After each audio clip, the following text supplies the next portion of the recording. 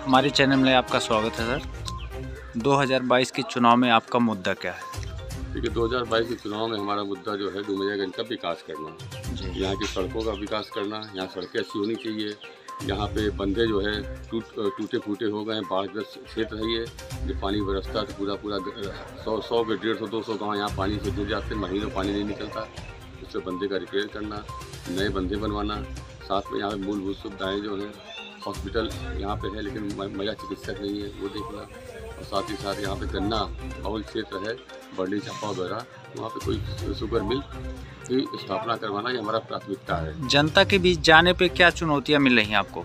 जनता की भी जाने भी जनता जो है यहाँ के भारतीय जनता पार्टी सरकार से बहुत त्रस्त है बहुत परेशान है।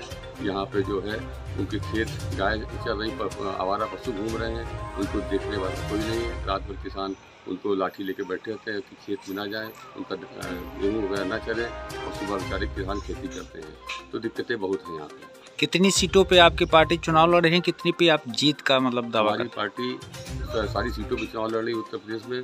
और वो किसी से किसी से गठबंधन नहीं उसका अकेले हमारी पार्टी बहुजन समाज पार्टी चुनाव लड़ रही है और हम लोग जीत के आ रहे हैं। जी मीडिया माध्यम से क्या संदेश देंगे? जी? मीडिया माध्यम से क्या संदेश लोगों को देंगे? से आप लोगों को मैं यही संदेश देना चाहता हूँ कि बहुजन समाज पार्टी हमारी सरकार बन रही है और साथ ही साथ डुमरिया इनका विकास जो है बहुत ज़बरदस्त करना है और ऐसा करना है कि जो भारतीय जनता पार्टी यहाँ के विधायक ने जो यहाँ पे गड़बड़ी कर रखी है भ्र- भ्रष्टाचार मचा मचा रखा है। उन सबको दूर करना है जनता को खुशहाल करना है सबको लेके चलना है। हमारे लिए सब बराबर है सब समाज बराबर है। जी।